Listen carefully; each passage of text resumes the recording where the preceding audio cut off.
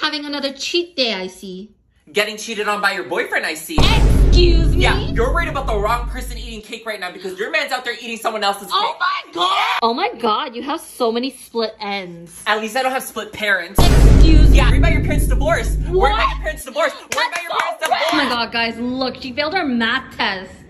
You mean the same way you failed your pregnancy test? Excuse me.